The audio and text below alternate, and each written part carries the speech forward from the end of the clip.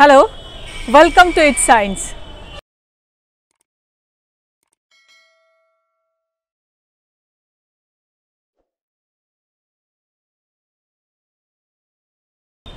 When someone is behind us, we can't see the person, but if he or she tells something, we can hear the voice from the background, but we are not able to see that particular person.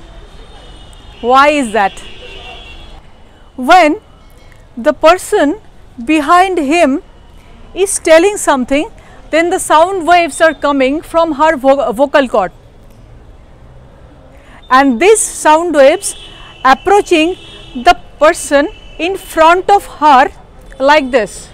But after getting obstructed with his dimension, these sound waves are getting bent and will reach his ear and he will be able to hear her because of the bending of the sound towards his ear.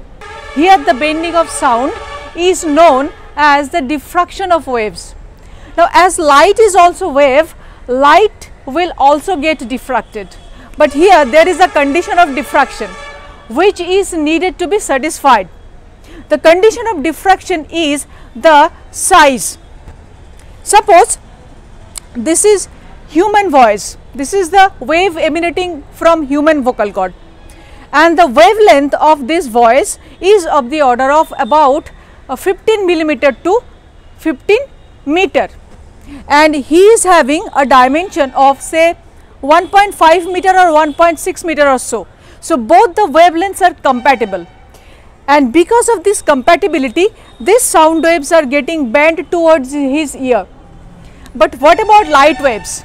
Light waves are very tiny waves compared to him light waves are of the order of 400 nanometer to 700 nanometers. 1 nanometer is equal to 10 to the power minus 9 meter and his dimension is about 1.5 meter. So, it is uh, 1.5 meter and the light waves are emanating with a wavelength of uh, say uh, 400 into 10 to the power minus 9 meter. So, there is no match between this if we uh, compare this with the size of a virus and size of uh, say dinosaur, uh, the largest dinosaur which is Argentinosaurus, uh, his height or his uh, length was uh, calculated as about 40 meters or so. But if we think about a virus, a virus ranges its length ranges between 1 to 400 nanometer. So, there is no compatibility. We can't compare a size of a virus and size of a dinosaur. The same thing happens with the light waves emanating from him which is of the order of 10 to the power minus 9 meter and the size of him which is of the order of meter. That is why the light is not getting diffracted. But I will make an experiment in this video to show you that light can also be diffracted. I used a laser pointer a laser source, laser is actually abbreviation of light amplification by stimulated emission of radiation. The speciality of laser is laser source is very much coherent that is wavelengths emanating from the source is very much in phase with each other and it is emanating a monochromatic light. Mono means one and chrome means color.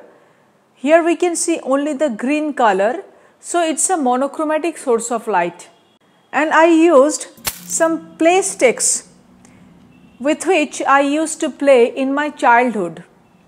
These play sticks are placed on a thick sheet of styrofoam the separation distance between these two plastics are not uniform throughout, but when that is at which place the separation between the plastics matches with the size of the wavelength then only we get the diffraction pattern. In the diffraction pattern we have seen some light regions where the light intensities are greater and in between those light regions there are darker patches.